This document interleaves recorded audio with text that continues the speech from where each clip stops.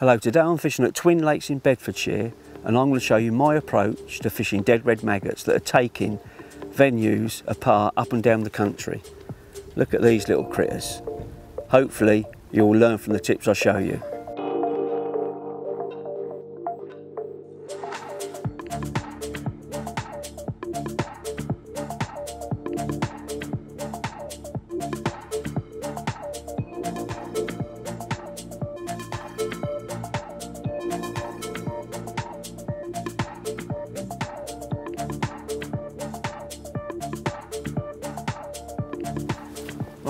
Two lines, one across, tight over, and one in the margin.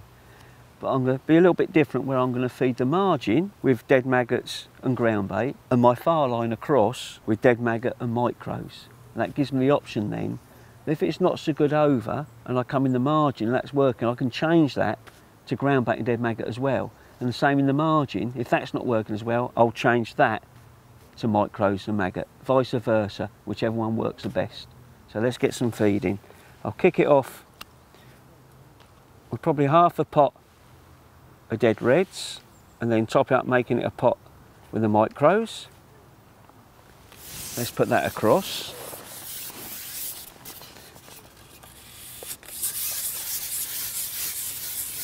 And when I cut this in, I'm going to swish it about a little bit so it spreads it.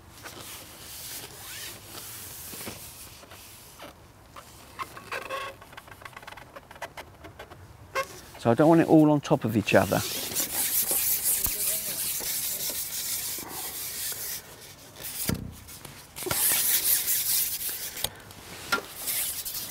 As I said, my margin, have a good half a pot of dead reds, and then I'll top that with ground bait.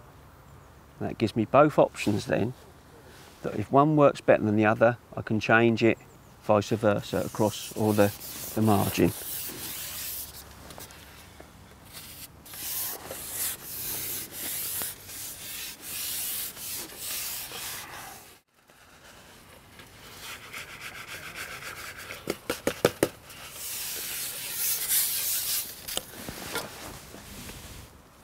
That's the two lines fed. As you've seen, I've put in pro probably three quarters of a 250ml cup on both lines.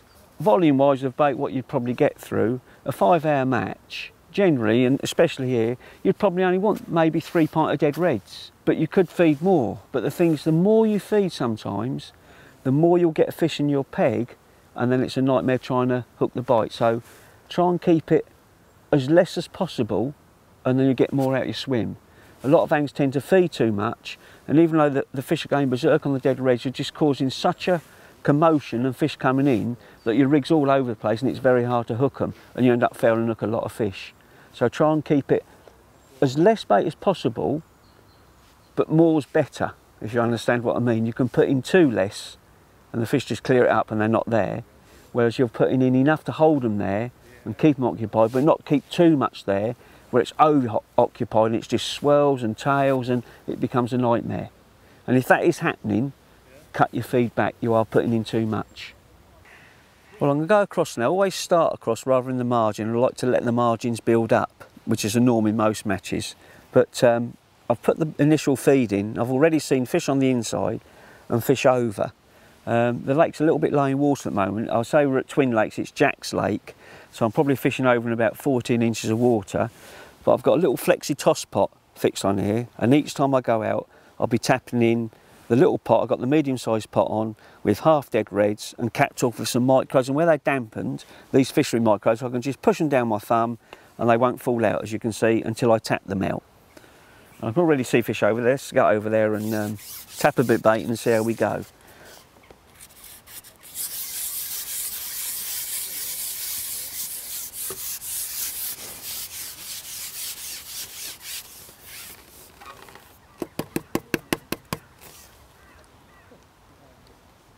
Probably about five, six inches off the far side.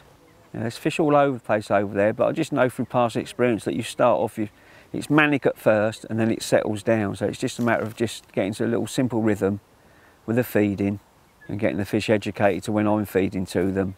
But just be a gentle lift up when the float goes under, no mad striking. I've got two reds on, two dead reds, Just looking for a nice positive bite. Most important thing also is what a lot of anglers forget is while I'm fishing lather, once I start catching, is keeping a clock in, ticking away inside my head that every sort of half hour, 40 minutes to put a bit more feed on the margin because they can easily clear all that first initial feed up and just go. So very important to keep that topped up sort of every 30, 40 minutes. Not a lot, just enough to keep them there. And the other thing, where I've had indications here, and now there's nothing happening there, I try and keep a clock in my mind that every probably three or four minutes to come back in and go back over there with a toss pot with a few more dead reds and some micros in, just to keep that being topped up as well. Because the carp can come in, mop the bait up and just go. It's very important to keep a steady flow of bait, but the right amount of bait. And that's what only you can determine when you're fishing to what you're catching. It's very easy to put too much in. You can't take out what you've put in. So again, just a pinch of dead reds, half filling the, the medium flexi put up. And then the micros and just push them down. So they don't bounce out while I'm going out because I've got an open pot. When I get to the position, I can just tap them out.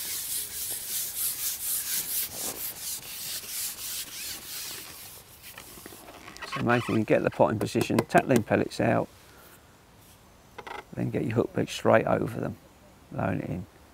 Also where I've plumbed up out there, I've plumbed out at dead depth, so I'm not over depth, I'm just touching bottom. So the minute one of those fish, fish one of the carp just sucks me bait in, the float will just disappear. Never want to fish over depth. I can see fish in my peg now, I've fed again, I can see fish in my peg now, right round my float. But the exciting thing is you don't know when the float's going to go under. And sometimes that craft they can come in and take every piece of bait up, not touch yours on the hook, but that's just, we just started. So it just, it's very, they're very cagey at first and all of a sudden it'll just switch on and you get a nice little rhythm. I think the fish just feed more positively on dead maggots as opposed to live maggots. But I'll never fish a single dead red, it's always two, three or four. So don't wiggle, they'll never mask the hook. They feel it's safe as well. I see another one down there, see its tail up in the air.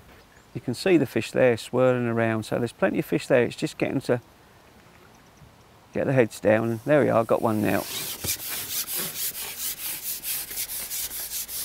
But that's the second time that I've fed. Oh, it's a chub.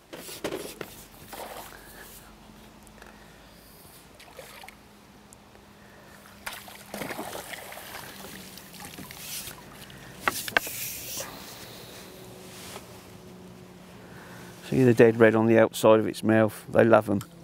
Lovely chub.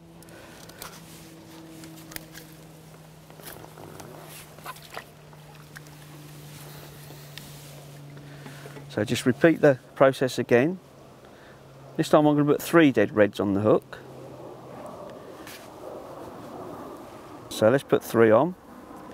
And again, just half fill the pot with dead reds and then cap it off the dampened fishery micros, just push them down and they'll stay in there when I'm shipping out. The worst thing is shipping out and all your bait bouncing out. And I know one gentle tap when I get over there, they'll just fall out where I'm fishing. Like that. Nice and simple. Then I've got three maggots on there this time, so it should stick out like a sore thumb as opposed to the loose feed I've put in. And hopefully they'll pick that out quicker.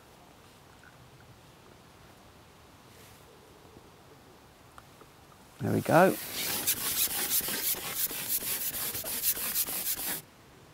Trying to get towards that aerator.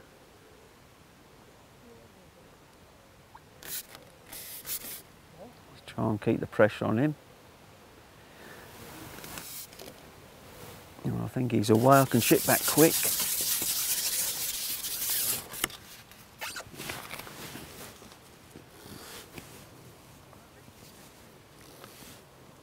Just take your time with them. When you rush fish, you can pull out of them. No need to rush them.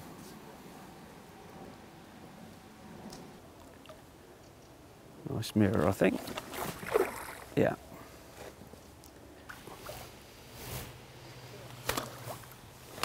There we go, lovely mirror. Now just pick them three dead reds out a bit quicker. Beautiful fish, lovely mirror. And I said earlier, there's a little clock in my mind. After the next fish, or the next time I go out there, I'll put some more feed down on that inside margin, just keeping that peg ticking over till I go down there. And with feeding fish down there, the longer you leave it, obviously the better it will be. The worst thing to do is think, oh, there's fish down there, let's go down the margin now. Well, if you're catching over, just carry on. And that margin line can only get better. So repeating the operation and the next time I come in I'll be feeding that margin again.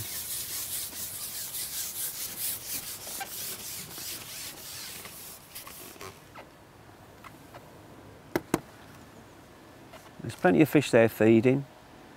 As soon as you put the bait in they're straight on it.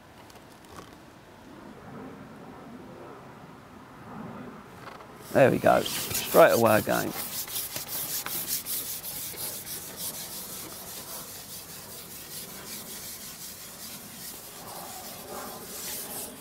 I'm peg 30 on Jack's Lake and I've got an aerator to my left and lily pads to my right so I've got to be very careful when playing them. What I love about fishing here is you don't know whether it's going to be a carp, a barbel, a chub, maybe a skimmer, even a tench. Some lovely tench in here. Yeah, it's definitely a mirror, this one. A lovely fish, lovely condition.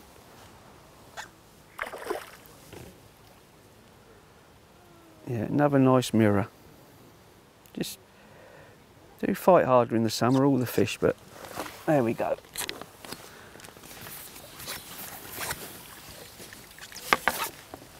Can't beat the old bump bar, just ease that landing net over that bar, easy to get in. Another lovely mirror. What is nice is we're a lot of anglers here today, pleasure anglers, and they're all catching fish. It's great to see. Make them come back again and again.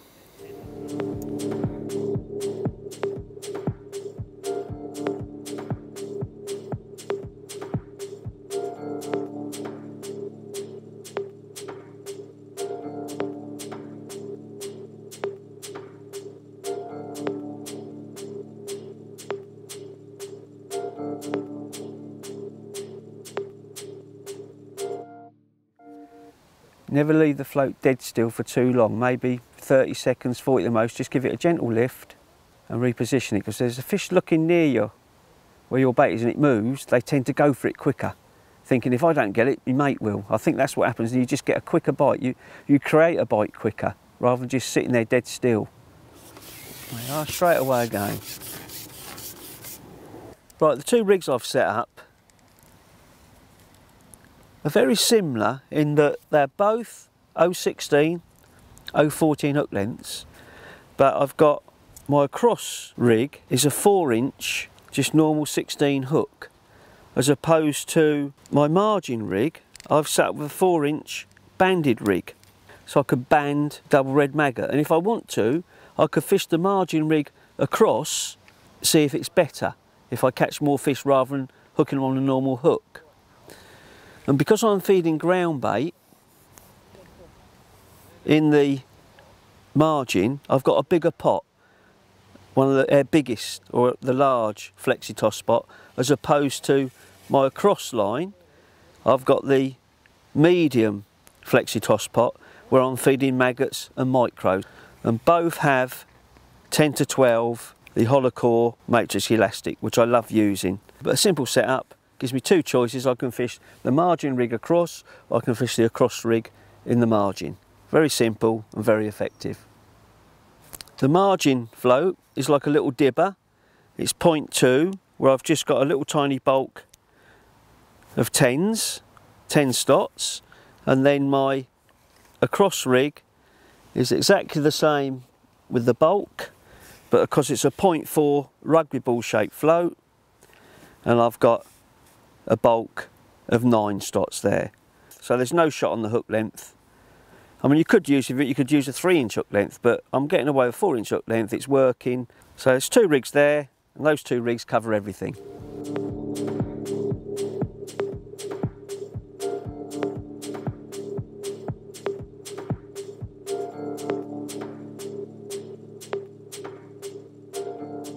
Well, I couldn't resist just dropping that in while the cameraman was setting up his cameras and I've got one straight away and I think it's a barbel.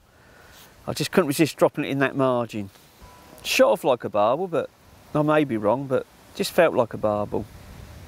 It's the same depth as a cross, but I didn't even see that there was fish down there and just I thought oh, I'll have a quick drop in and it went straight away. So I caught the cameraman out. But I'm sure it's a barbel. Yeah, just see its tail. They're lovely fish they are. Look at him, beautiful fish. Lovely barbel. Two and a half pound, look at that, beautiful fish. Awesome. These are the type of fish that you will catch on dead maggot. And you probably wouldn't think those in your peg fishing, corn, pellets, other baits. They love dead red maggot and that just proves the point. Right, just go down the margin again. I've started on a normal hook because I think it's best to start on a normal hook and then you can see how much better banded maggot is, if there is any difference. Now you will get perch, there are some perch in here and perch will take maggot. So we won't count that one.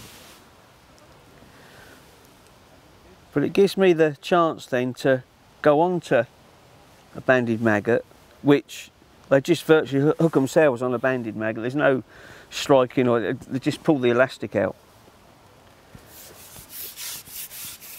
Get that bait out straight away, same spot, then lower your rig over it. Plenty of bites and indications down there. There we go, another fish. In fact, much quicker than over because I've been feeding it for a while now.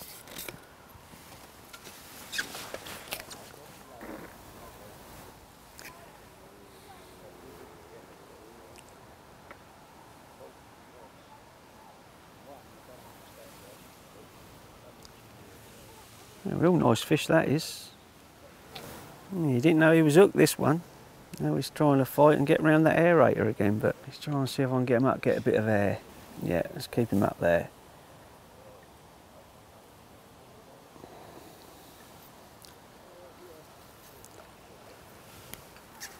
Oh, he's fighting hard this one. On the far bank now.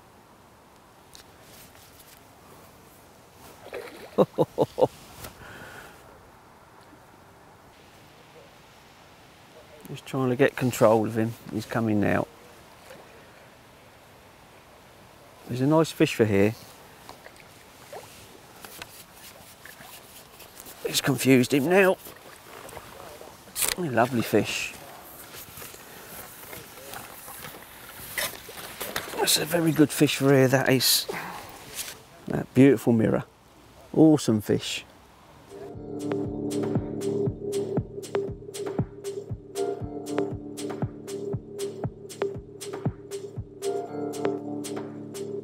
Right, okay, now I'm going to change to a banded maggot, just to see if it's even better. I mean, it's been good with the hook maggots down there, but just change to a band just to show you how effective this can be. So I'm a little bandem. Stretch the band over, I'll just put in two dead reds. A little bit fiddly once you get them in. There we are, two lovely banded dead reds. Let's see how effective that is. Same procedure, I've just changed the pot over so I've got the bigger pot on here. Little pinch of dead reds. Top it up with ground bait. So you're not putting in as many dead reds now down there. Now I can see some swells down, the fish are still there. So get the bait in as quick as possible.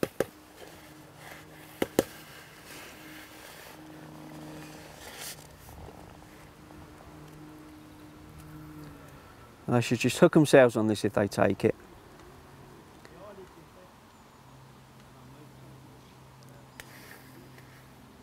And bite straight away.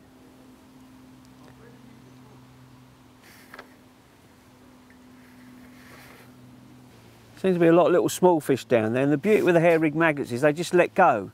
You don't hook them.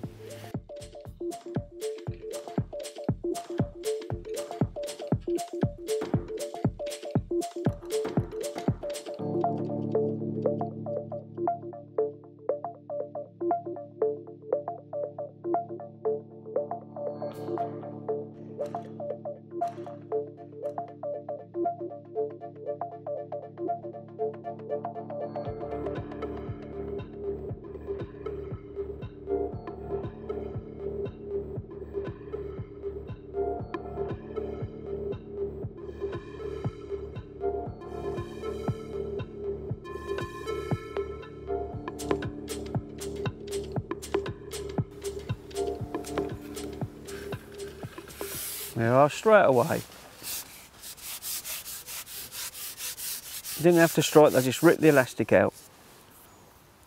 Go. I thought, thought it was a barbel at first, but it's definitely another carp. But it's amazing though, you, you think, oh, they're not down there because they had a couple of perch, but just fish through them and you'll get the carp. I, I'd seen the odd swell down there, just very confident they were down there. You know, you're going to get small fish uh, coming. Normally they just fall off, but just persevere and then better fish are there as I've shown you. I just love that dead maggot. And at the moment it's such an awesome bait where it's been so warm.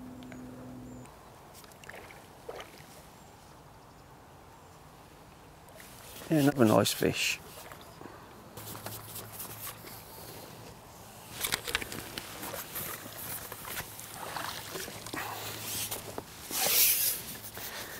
Two different lines now and two different ways of hooking the maggot